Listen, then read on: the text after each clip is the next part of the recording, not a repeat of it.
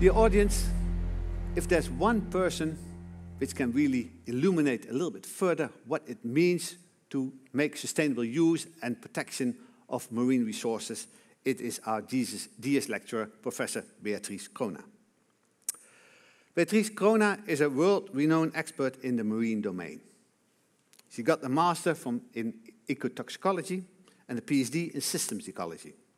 The moment, she's scientific director of the Stockholm Resilience Center, and she's also director of the research program Global Economic Dynamics and the Biosphere of the Royal Swedish Academy of Sciences. She worked, amongst others, in the Marine Commons, on marine and fishery governance, on fish trade and value change, and on financial mechanisms to protect the seas and oceans. May I invite Beatrice Crona to the floor to give her Dies lecture. Thank you.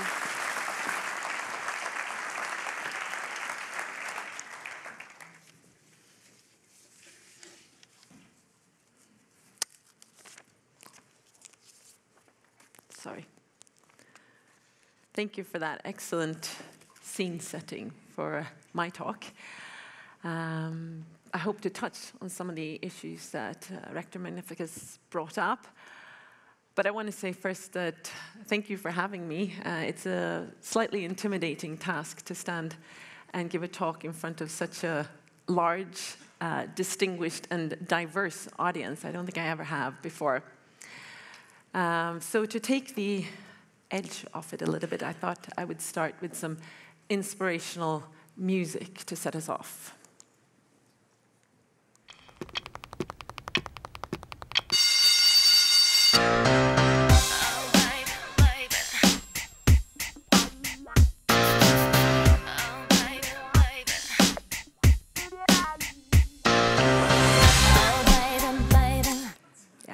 Sorry to cut it short. It's quite a catchy tune. Um, but, uh, and I know some of you are probably thinking, if you came to the wrong lecture, what has Britney Spears got to do with any uh, of blue transitions? And she doesn't, of course. Uh, and what I find inspirational about this is not the song itself, it is the man behind it. Max Martin is his name. He's a Swede, same as me, but probably someone most of you have never heard of. Um, and he has actually co written or written over 25 Billboard number one songs. And that's more than anyone in history ever. It's quite impressive. And his uh, recipe for success is collaboration. And initially, his success stemmed from just collaborating with multiple other pop musicians or producers in and around Sweden. And that was then, back in the 90s, it still is actually today, quite unusual. Most songs get written by one, possibly two people. Um, later, he reinvented himself, and then his modus operandi, when he became even more successful, was to mix and therefore collaborate with wildly different music genres, from classical piano all the way to death metal. And um, it's this creative force, I think, that, is, that I admire and that I find inspirational.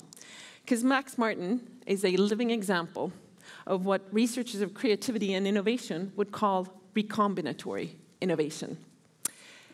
This is something that relies on cross pollination of ideas or technology, which happens when people from different backgrounds, music genres, or disciplines collide against each other over time to develop a truly integrated mix that becomes a new whole that is different, sometimes larger than the sum of its parts. Like the rolling suitcase. Um, this is a combination of the technology of luggage with a wheel that combined created a very, very handy innovation, which I used when I was traveling here through the snow for 10 hours yesterday. But um, the last bit here about cross pollination of ideas could actually also be a definition or a description of the inter and transdisciplinary science that I want to talk about. Because this is a talk about the value and importance of inter and transdisciplinary science in general, alongside, of course, the equally important deep disciplinary science on which all interdisciplinary discoveries build. And I'm not in the least suggesting that I'm nowhere, anywhere near as um, creative or as successful as Max Martin. But it is also a talk, a brief account of a journey across disciplines, my journey, to find scientific answers to pressing societal issues, many of them relating to the ocean domain, and becoming what I would call an undisciplinary scientist. My journey started here in marine ecology in the mangroves of southern Kenya. And blue questions have since continued to permeate most, if not all, of my work. And my undisciplinarity as a scientist became clear quite early on when I was really, as a PhD student working here, on mangrove ecology, fisheries ecology, I was struggling to stay on the purely ecological path because as I was sitting in this community where I lived, listening to fishers talk about where they fished, why they fished there, and in, in other places. And so I became very curious about how that knowledge affected their practices and their view of the coastal system and what that meant for local fisheries governance. And also, as I watched the seasonal inflows of migrant fishermen coming up from Tanzania, impacting these local communities, impacting the landings, the markets, I began to realize that if I wanted to contribute to sustainability in this region, it was gonna, I was going to have to branch out and become a bit more diverse in my approach. So I turned to sociology. And with a PhD colleague of mine, we ended up systematically collecting social network data that would allow us to understand who was communicating ecological understanding and knowledge with each other but also who was exchanging gear or using gear and also trading with each other. And this became the empirical foundation that allowed us to eventually start to use sociological methods and theories to explore a number of issues that have all, all have bearing on the governance of the marine and coastal resources in that region. And just as an example, the knowledge networks that um, you see here in the top right indicated the existence of a set of highly um, central individuals in this knowledge sharing network. And individuals that occupy such central positions in a knowledge sharing network can be really instrumental in determining which knowledge and which interpretation of what you're seeing around you, in this case, the ecological signals, becomes most dominant. So we often refer to them as opinion leaders.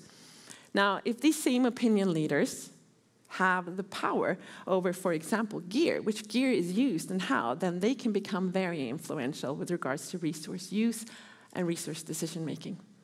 And the lower figure you see here is a network of gear exchange among the villagers. And when we combine these networks and analyze them together, we could see that powerful individuals were overrepresented among those to whom fishers would go to discuss ecological dynamics. And even more interesting was the fact that we found that the most central and influential individuals tended to also be these seasonal migrants, which our previous knowledge, or my knowledge of that, showed were the group that had the least holistic understanding of this ecological system. Why? Because, well, they largely fished with larger boats outside of the reef crests and not in the lagoon. But also, they only spent a few months in this system every year. And because of that, their interest in sustainability and long termism of the system was also much different and much lower. And this is just an example of how the new combination of data and theories and methods, for at least for us, we were able to contribute a better understanding of the combined effect of multiple social relations for marine resource governance in this region and start to uncover factors that were actually, yes, facilitating, but also hindering this community from transforming its practices. And even though it began as two PhD students that were merely sort of dabbling, you could say, with sociological uh, methods and theories and experimenting on how to apply them, the work actually ended up sparking the emergence of a new academic field in the intersection of environmental resource governance and sociology. And now enjoys its own standard session at this international annual conference on social network and quantitative sociology, the Sunbelt conference that you see up there. And I mention this only to show that even as young scholars, you can, uh, by experimenting, initiate bigger things that you don't even think about when you're doing it. And it's sort of an, a result of this recombinatory innovation that I referred to at the start. But the deeper understanding of social relations also sparked my own personal interest in the importance of understanding trade relationships and, yeah, trade for governance of ocean uh, resources and their sustainability. Because multiple places that have been historically driven by largely local forces are now increasingly affected by drivers at multiple scales, often international. And trade is particularly important in driving change. And as we heard Rector Magnificus mention already before, seafood is now exported into, uh, internationally more than ever. In fact, at the bottom picture shows there, it's a bit hard to see, I can see, but roughly half of the global export value of foods comes from aquatic systems now. And this ignited the next phase in my journey, which began by examining the effects of indebtedness on resource use and behavior.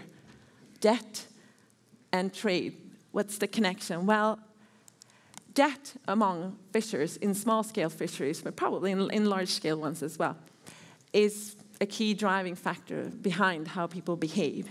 And it's very common in small scale fisheries for fishermen to be indebted and for middlemen to play the key role here because it is to them that most of the fishers are in debt. And by leveraging this debt, um, middlemen end up actually directing effort and sort of affecting which gears get used and which species get targeted. So by examining the debt tying relationships in fishing communities, we began to try to uncover the role that these middlemen were playing in influencing resource extraction by, as I said, leveraging the debt. And we can see it in this picture. It's a little bit hard to see, but I've highlighted there in yellow, the, showing the, pre, the percentage of what we call predetermined sales of fishermen. And many of them basically perceiving that they are locked into these sales relationship and they have no ability to change them. And the research really just ended up showing the importance of recognizing this, what we call the ignored link in fisheries and ocean, uh, not ocean, but coastal governance here, between fishers and downstream markets. The middlemen, they represent that ignored link. And just a call to include them much more explicitly in fisheries governance and regulatory policies. And as I studied traders and fishermen in Kenya and Tanzania and the Swahili coast, I became also more and more curious about the effect of global markets and local communities elsewhere. Because when small scale fisheries are integrated into global markets, the local social ecological systems in which they're embedded start to change. And that can have both positive and negative effects. But back a few years ago when we were starting, I couldn't find any studies that had systematically tried to investigate why the outcomes of that market integration looked so different in different places. Most likely, actually, because it was a really hard thing to do and it was very time consuming. But as we were trying anyway, the first obstacle was to try and find a way to ch analyze change, change in complex social ecological systems. And of course, when we want to understand change in systems, we can't simply rely on the same methods or approaches as when we're examining causal links between individual variables. Like, for example, you see here fishing effort and fish stock size. Because analysis of single facets of change are never in themselves going to provide a very good ac or accurate understanding of the multifaceted nature of change in a social ecological system, for example. System change, instead, is the result of a complex set of factors that interacts to produce a particular set of outcomes. And Schellnhuber, back in 97, but then later Lüdeke, developed this global environmental change syndromes as an approach to overcome this tendency for single facet sectoral approaches to understanding change. They argue that bundles of interacting processes can be grouped into these syndromes of change. I was very inspired by that, and we ended up drawing on this approach to systematically assess the combination of economic, social, institutional, and ecological outcomes of market integration in small scale fisheries from around the world. And what we did was identify basically uh, 18 cases where we had enough deep and sort of holistic uh, data to look at it, we identified three distinct clusters among these cases around the world. And they represented then small scale fisheries that basically share a set of similar set of outcomes. In other words, they're clusters that represent social ecological syndromes. And they can provide an indication of how a local seafood system actually interacts with global trade to deliver a particular set of outcomes. I'm not going to get into detail here, but one syndrome was associated with mostly positive outcomes in the form of sustainable levels of fishing. But two of the other ones were not. They were characterized by declining stocks and social conflicts, for example, or elite capture by downstream actors. and without going again into the details, I think the notable thing here is that we see no geographic pattern in the occurrence of the syndromes. They're globally occurring. And what it means is that, or you know, regardless if we're looking at South America, in this case, Africa, India, you can see those red dots up there. And it means that you find markets, uh, uh, small-scale fisheries that are market integrated across those different uh, continents, but they're all grappling with the same type of outcomes. And it suggests that international trade is driving local dynamics in ways that create very similar conditions, very similar outcomes and vulnerabilities in localities around the world. And it can help us look at what those factors are and then look how to address them in a context-specific way. So that was a very brief synopsis of sort of the first 15 years, 15 years of my academic career. And it's been a really windy journey that has been driven more by a desire to have relevant answers to pressing societal issues than to have perhaps dig deep and perfect specific methods. I have forged my career on collaboration with countless disciplinary experts and it's only by combining that expertise that we have been able to deliver some of the insights that I've been fortunate, fortunate to kind of contribute to. And as a very recent example of that, I want to mention the Blue Food Assessment. Because I had the honor of co chairing this scientific international assessment, which examines the role of blue foods and that blue foods can play in the, at least according to us, much needed transformation of the food system towards something that is more just, equitable, healthy, and that doesn't undermine the planet. This assessment brought together scientists from more than 25 institutions to study blue foods from multiple different sort of deep disciplinary angles. And my co-host here today, Professor Simon Bush, was one of these colleagues. And the assessment is made up of nine papers and spans multiple domains that are all critical, I think, if you want to try and understand and influence change in food systems. It ranges from nutrition and environmental performance, of course, but also demand for aquatic foods now and potential in the future, as well as justice and equity issues that are of importance to the diverse community of primarily small scale actors who produce the majority of the blue foods that we actually consume as humans around the world. And together, these blue food papers have shown that, broadly speaking, blue foods have, can play four roles in the transformation of our food systems. Or maybe I should say, actually, that they can help achieve four broad policy objectives that relate to several important SDGs, like hunger, like health, environment, poverty. And one objective, we argue, is to reduce nutrient deficiencies. And blue foods can be really useful there because many of them are very dense in micronutrients and even small amounts. I was requested to do a review for Nature Communications as late as yesterday that shows that even small amounts consumed of, for example, forage fish by humans can massively increase uh, the nutritional status of particularly vulnerable populations. But a second objective could be to reduce the risk of cardiovascular disease. And by replacing some of the red, particularly processed meat, if we do that, replacing that with aquatic foods, then we could actually help reduce that risk as well. We have large carbon footprints in some parts of the world, so reducing the carbon footprints that are associated with our food consumption and production is another role that blue foods can play. Particularly if we can substitute some of the terrestrial, high impactful red meat with low impact aquatic foods. And the fourth one would be to safeguard contributions to economies and livelihoods under a changing climate. Why? Because aquatic foods are tremendously diverse. We heard Rector Magnificus before mentioning 2,500 species is what we farm or catch in the wild around the world. That's a tremendous diversity. And it's in that diversity that we see the potential for the resilience of not only the aquatic food systems, but also the food systems at large in the face of a changing climate and changing other changing environmental conditions. And in this paper that came out in Nature actually as recently as a couple of weeks ago, the Blue Food Assessment team has tried to synthesize this. And we assess the degree of relevance of each of these policy objectives across nations based on what's nationally available data. In the maps here, it suffices to say that the darker the color, the more relevant a particular objective is for that nation, based on nationally available data, as I said.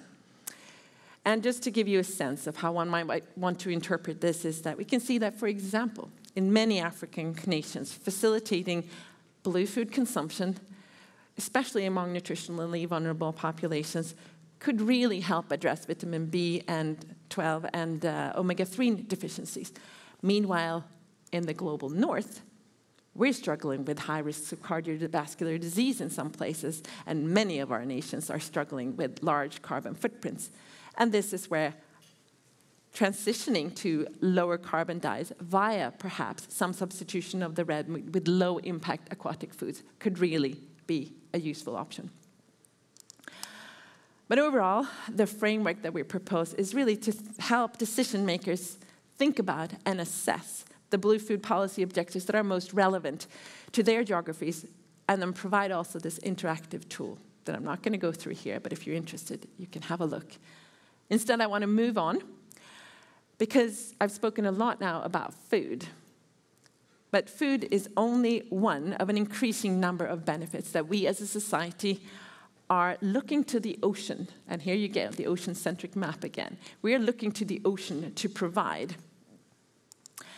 And the term the blue economy has gained immense traction, reflecting the enormous commercial interest in and efforts devoted to claiming ocean resources and space. And here we go again. this graph is actually published by Jean-Baptiste Jouffray, who is my PhD student, in an effort to try and show this. And I think the figure captures it really well. We see, as we've already seen, the exponential increase in the extraction and use of ocean resources since the 1970s across so many different sort of ocean sectors, from aquaculture up there to uh, submarine cables to cruise tourism, to mention a few different ones. But what is the blue economy? What does it mean? It's been repackaged, conceptualized to match a diversity of discourses that are anchored in quite specific geographies or linked to specific, the experience of specific industries or sectors. Some of these, and many actually, I would say, see natural capital as a foundation for business development.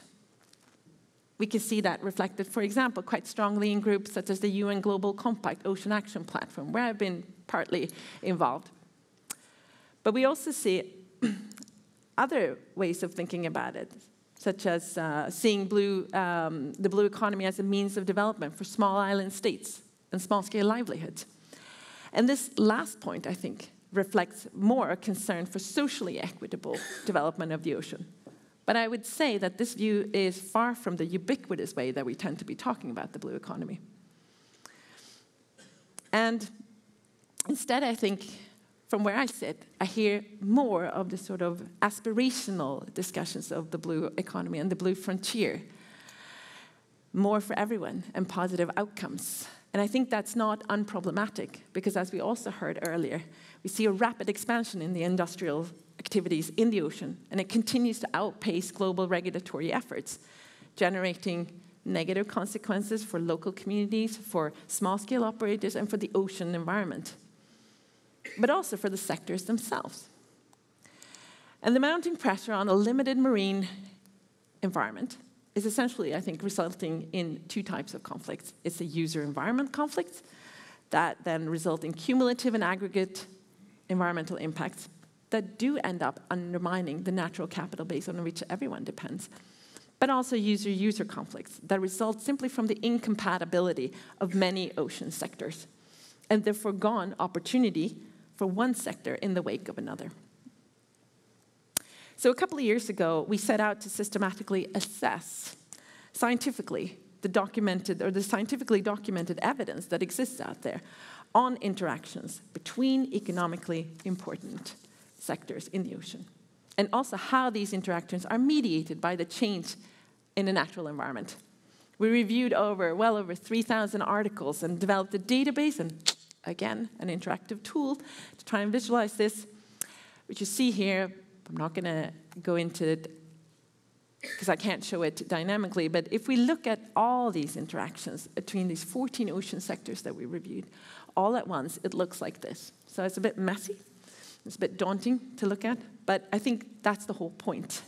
It indicates the complexity of the situation and the fact that in any exploitation of ocean resources will, by one sector, will have many, both positive but also negative effects on other sectors. And this is something that we too often forget to discuss. A key insight from this analysis was that the outcomes of ocean sector interactions go actually far beyond mere spatial conflicts. And because spatial conflicts are, and we heard this before, that they are quite well addressed already with zoning, marine spatial planning, at least in exclusive economic zones. And of course, our analysis also showed that spatial overlap is, is huge. And it is a big thing that we need to address, but I'm not going to dwell on it here because a lot of work is already being done on that.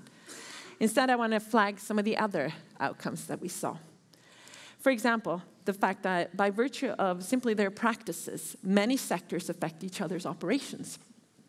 For example, trawling accidentally snags cables. This is quite frequent of various sorts, but also dredging and mining, creating turbid waters that then affects aquaculture, fishing, tourism. Of course, you see positive effects as well. Like, for example, having cold ironing of ships out at sea as a result of renewable energy, uh, wind parks, as an example. Another outcome includes impacts on tourism, tourism or touristic value. And we're seeing an increasing number of studies to show that actually there's some, sometimes some positive spillover effect between wind farms and tourism. Remains to see how long that will last, but but mostly, unfortunately, we see negative effects from physical or visual pollution, from, for example, aquaculture, ports, or different kinds of mining. But I think the impacts on the natural capital on which um, another sector depends is by far the most common outcome uh, with big impacts on other sectors that we see from this study at least. And I think it's quite intuitive to think that almost, of course, any sector that's operating in the ocean is going to have some sort of environmental impact. But what the review shows is the magnitude of the combined direct and indirect effects that this causes for other sectors. And analytically, we can see it clearly in a figure like this, where each circle represents a sector. And in a network diagram like this, the size of a node uh, is a reflection of how many interactions it has. And the key thing I want you to focus on here is simply the size of the sector that's termed biosphere, that represents the marine environment, which is among the biggest in this graph, which means it is involved in interactions with pretty much every single sector. And the review shows that the cumulative nature of environmental impacts with implications over long time scales often. Of course, there will be ecological impacts that reverse themselves without any real remedial action. But there also, we've seen some incidents with long term widespread effects, like the BP Deep Horizon from 2010, which you all recall, I'm sure. But then there's also countless others, like pollution, biodiversity, and habitat loss, that may initially, when you look at them, look like they have quite small, localized effects or impacts, but are all often cumulative and exert this aggregate pressure over time, undermining the natural resource base. And evidence from this study shows that certain ocean sectors are particularly likely to incur a mix of these local, but over time, cumulative impacts. Of course, any conflict over the use of natural resources or space is going to have winners and losers. But what this work uh, could show really clearly, and what I think is really important to keep in mind, is that access to space is biased. And is often biased on historical presence, on size, on current economic influence. And it risks leading to an unequal ability among ocean sectors in the now to develop the ocean space. Unfortunately, I think the ocean governance landscape is not really well equipped to deal with the full range of these trade offs, but also the opportunities. And I think we need to be much more open and explicit about the fact that user user conflicts, and those go beyond just the spatial crowding, and the fact that these will arise largely as a result of the user environment conflicts, so, grounded in this analysis, we therefore proposed, perhaps naively, I don't know, but a set of principles. But they're essentially questions that can be posed to guide strategic decision making as governing actors are planning for the future of our oceans. The first one, if you can see it up here, is what I think we most commonly focus on the economics. But that's why I think it's so important to not forget to ask the other questions about sustainability. Like, to what degree an ocean sector that's vying for access actually enhances or erodes ecosystem health, or enhances or erodes the potential for future use. But we also need to consider equity. So consider whether a sector creates synergies or pushes out small scale actors, whether it prevents new actors from gaining access, or if it creates synergies, actually, or at least low cost options for future innovations or actors to enter the ocean space. Now, most sectors and actors are going to be somewhere along that spectrum, ranging from the red to the green. And in any decision situation regarding ocean use, you can think and use these kind of like a deliberative tool.